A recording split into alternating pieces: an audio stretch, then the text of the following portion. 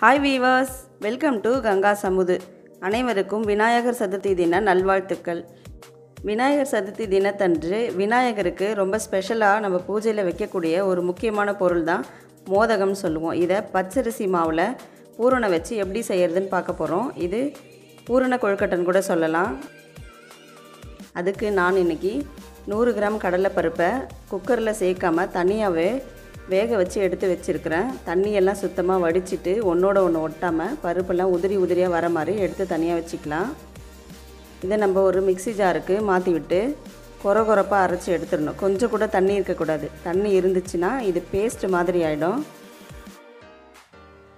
குக்கரில் நம்ம இதை வேக வச்சு எடுத்தாலும் பருப்பு நல்லா அழிஞ்சி வந்துடும் அதனால தான் நம்ம இதை தனியாக வேக வச்சு எடுத்து வச்சுருக்குறோம். இந்த அளவுக்கு பொடியாக நமக்கு இருந்தால் தான் இது பூரணத்துக்கு கரெக்டாக இருக்கும். இதை எடுத்து நம்ம தனியாக வச்சிடலாம். ஒரு கப் துருவின வெல்லம். இதை நம்ம பேனில் சேர்த்துக்கலாம். ஒரு கப் வெல்லத்துக்கு கால் கப் தண்ணி வச்சுக்கலாம். இப்போ நம்ம வெல்லம் நல்லா கரைஞ்சி வரணும். பாகு பதத்துக்கெலாம் வரக்கூடாது. அதுக்கு முன்னாடியே நம்ம அடுப்பு ஆஃப் பண்ணிடணும். நல்லா வெள்ளம் கரைஞ்சி வரணும் கட்டி இல்லாமல் வெல்லம் நல்லா கரைஞ்சி வந்துருச்சு. இந்த பதம் போதும். இப்போ நம்ம இந்த வெள்ளத்தை வடிகட்டிடலாம். ஏன்னா இதில் மண் தூசியெல்லாம் இருக்கும். இதை தனியாக வடிகட்டி வேறு ஒரு பாத்திரத்தில் எடுத்து வச்சிடலாம். எந்த கப்பில் வெல்லம் எடுத்தோமோ அதே கப்பில் ஒரு கப் அளவுக்கு தேங்காய் துருவலை பேனில் சேர்த்து விட்டுடலாம். எந்த கப்பில் தேங்காய் துருவல் எடுத்தோமோ அதே கப்பில் நம்ம ஏற்கனவே பொடிச்சு வச்சுருந்த கடலைப்பருப்பு பொடியை இது கூட சேர்த்துக்கலாம். இப்போ நம்ம வெல்லமும் ஒரு கப்பு தான் எடுத்துருக்குறோம். தேங்காயும் ஒரு கப்பு தான். கடலைப்பருப்பு பொடியும் ஒரு ஒரு கப்பு தான் எடுத்துருக்குறோம். இதுதான் மெஷர்மெண்ட் கரெக்டாக இருக்கும். இதை ஒரு அரை நிமிஷம் போல் நல்லா வதக்கிக்கலாம். இது உதிரியாக இருக்கிறதுனால ரொம்ப நேரம் ஆகாது. உடனே வதங்கிடும்.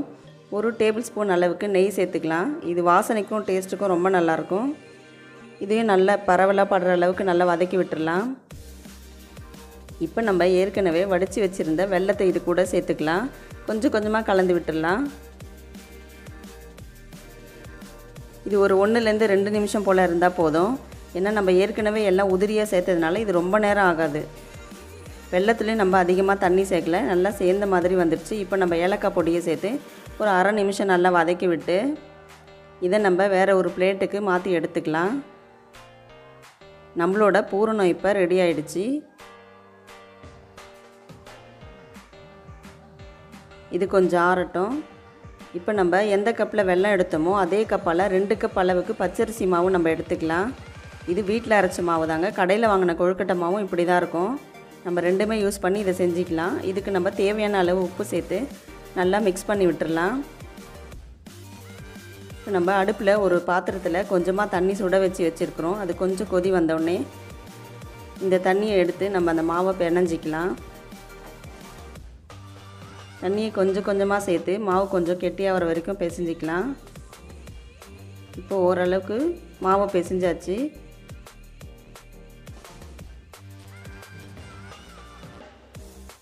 இப்போ நமக்கு இந்த மாவு கையில் ஒட்டுற மாதிரி தான் வரும்.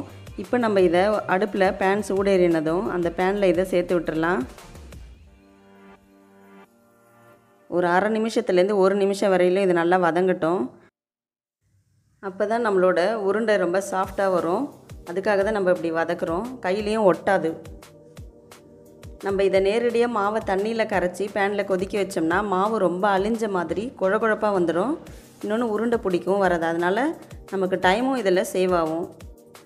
நம்மளோட மாவு எப்படி வந்திருக்குதுன்னு பார்க்கலாம். பாருங்கள் கையில் ஒட்டாமல் உருட்டுறதுக்கு கரெக்டான பதத்துக்கு வந்துருச்சு. இப்போ நம்ம அடுப்பு ஆஃப் பண்ணிடலாம்.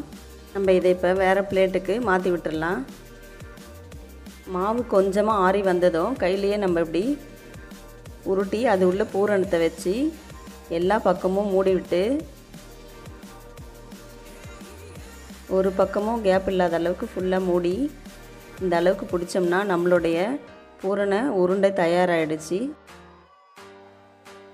நம்ம ஏற்கனவே ஒரு இட்லி பாத்திரத்தில் தண்ணி கொஞ்சமாக சேர்த்து அது மேலே ஒரு இட்லி தட்டு வச்சு அது மேலே எண்ணெய் பரவலாக தடவி விட்டு வச்சுருக்குறோம். அதில் நம்மளுடைய இந்த மோதகத்தை ஒன்று ஒன்றா சேர்த்து வச்சிடலாம். இப்போ நம்ம கொழுக்கட்டை எப்படி செய்யுதுன்னு பார்க்கலாம். ஒரு தட்டில் கொஞ்சமாக ஒரு கிண்ணத்தில் எண்ணெய் எடுத்து அந்த தட்டு பின்னாடி நல்லா தடவிட்டு சின்னதாக ஒரு மாவை உருண்டை பிடிச்சி. அது மேலே வச்சு இப்படி கையாலேயே நம்ம ப்ரெஸ் பண்ணோம்னா இப்படி கூட நம்ம உருண்டையும் செஞ்சுக்கலாம். இப்போ நம்ம அதை ஈஸியாக கையில் எடுத்தோம்னா ரெண்டு பக்கமும் எண்ணெய் இருக்கும். இது உடையவும் உடையாது. இதில் இப்போ நம்மளுடைய பூரணத்தை கொழுக்கட்டை மாதிரி பிடிச்சி உள்ளே வச்சிடலாம். நம்ம அச்சு வச்சு செய்கிறதுனா ரெண்டு பக்கமும் மாவு வைக்கணும். ரொம்ப டைம் எடுக்கும். இது கையிலே செய்கிறதுனால ரொம்ப ஈஸியாக வேலை முடிஞ்சிடும். இப்படி எல்லா பக்கமும் கொஞ்சம் லைட்டாக ப்ரெஸ் பண்ணாலே போதும். எண்ணெய் இருக்கிறதுனால உடனே ஒட்டிக்கும். இப்போ நம்மளோட பூரண கொழுக்கட்டையும் தயாராகிடுச்சு. நீங்களும் வீட்டில் இந்த அளவுக்கு செஞ்சு பாருங்கள் இப்போ நம்மளோட பூரண கொழுக்கட்டையும் எடுத்து இட்லி பாத்திரத்தில் அடுக்கிடலாம். இது ஒரு ஒன்றுலேருந்து ரெண்டு நிமிஷம். அதுவே அதிகம் தாங்க ஒன்றுலேருந்து ஒன்றரை நிமிஷத்துக்குள்ளவே இது வெந்துடும் பாத்திரத்தை மூடி வச்சிடலாம். ஒரு ரெண்டு நிமிஷத்துக்கு அப்புறம் பார்க்கலாம். நம்மளோட பூரண கொழுக்கட்டை மோதகம் ரெடி ஆகிடுச்சு நீங்களும் வீட்டில் என்னோடய ரெசிப்பியை ஃபாலோ பண்ணி ரொம்ப ஈஸியாக செஞ்சு பாருங்கள் இதை. கண்டிப்பாக டேஸ்ட் எனக்கு. கமெண்ட் பண்ணுங்கள் ஷேர் பண்ணுங்கள் சப்ஸ்கிரைப் பண்ணுங்கள் பெல் ஐக்கானையும் கிளிக் பண்ணுங்கள் தேங்க்ஸ் ஃபார் வாட்சிங்